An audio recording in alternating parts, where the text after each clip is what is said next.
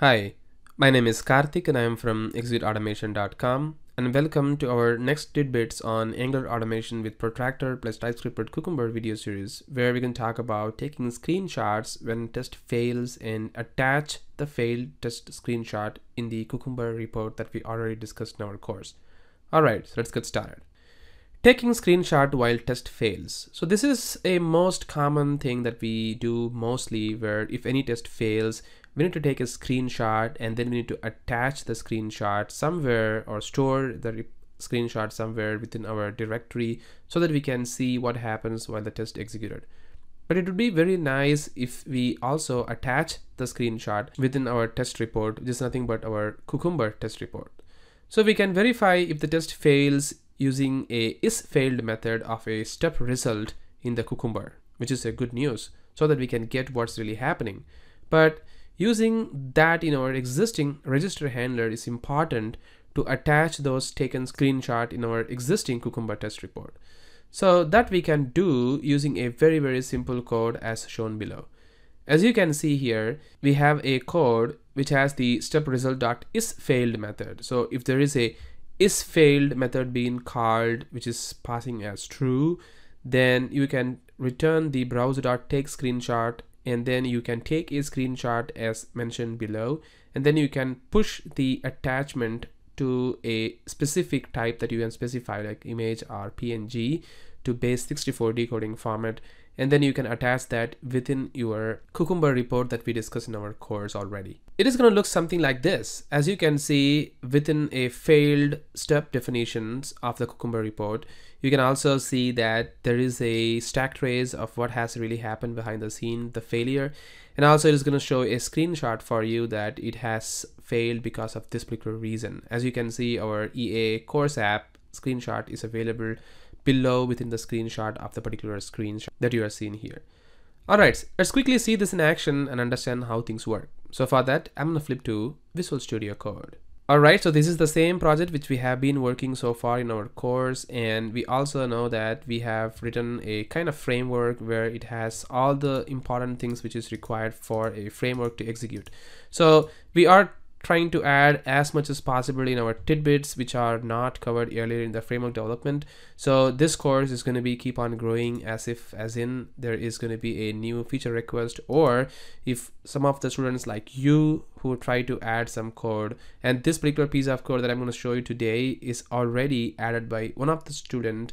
He himself wrote the particular piece of code and added that so we are gonna kind of demonstrate the same thing for you within our uh, course video this time. So what I'm gonna do is this, I'm gonna go to the hooks and there is something called a scenario hook.ts file.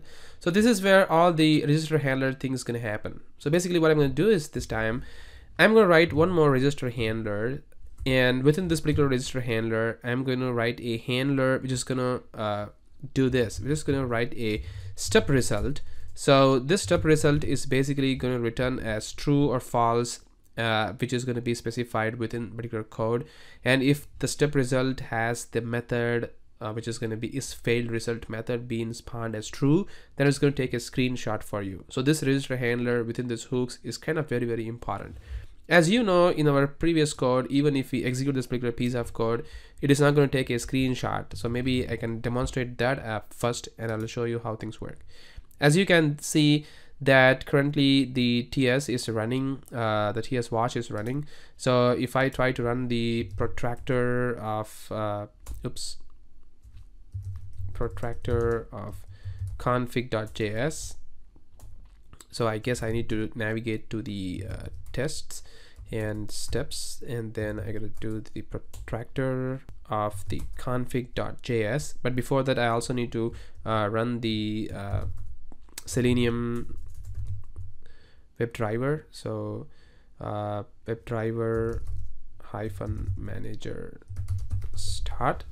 So that's gonna spawn my selenium WebDriver in the meantime i'm gonna execute this particular piece of code once it is executed all right so now i'm gonna execute this.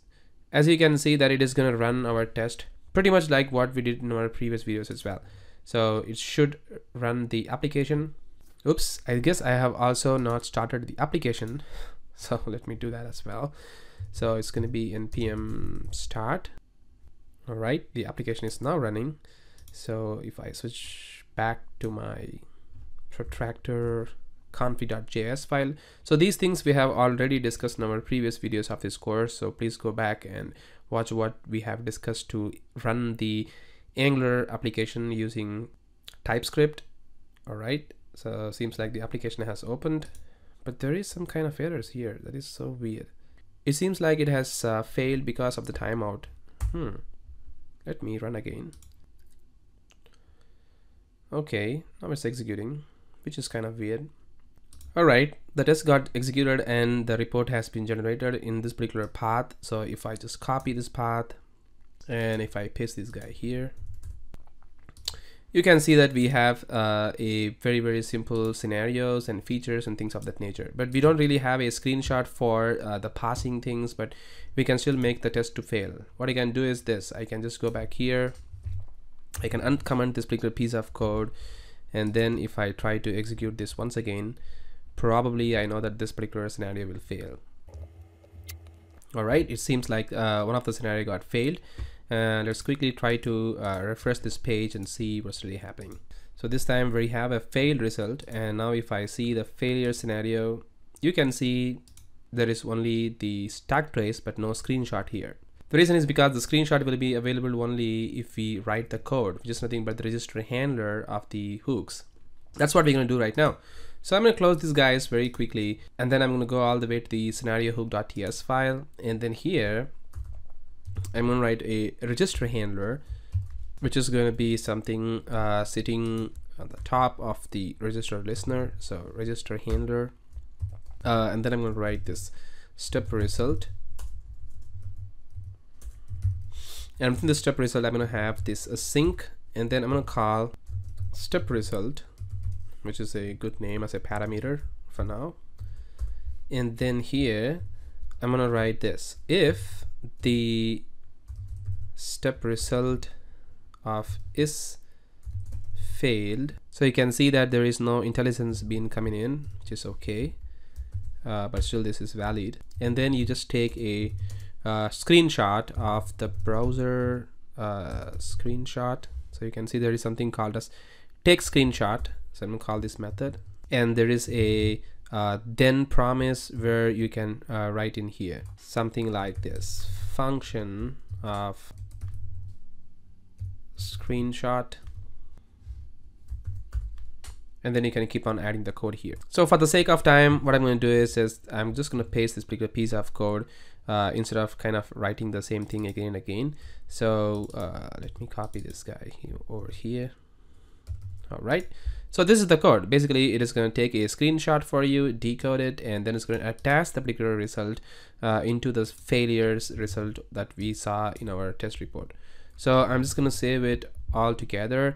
And you can see once I save it over here, uh, the transpiler of the TypeScript is going to transpile and it's going to compile that to the uh, equivalent JavaScript for us, right? So now let me go back to my uh, console here and then let me clear this a little bit and then if I try to run this particular piece of test again it's going to run the same test but this time it is going to attach the failure screenshot for us hopefully if everything is fine.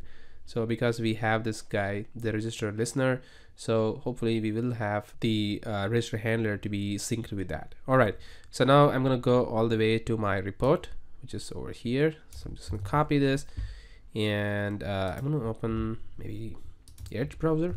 Why not? We have a failure go to the features scenarios and you can see that we have failure.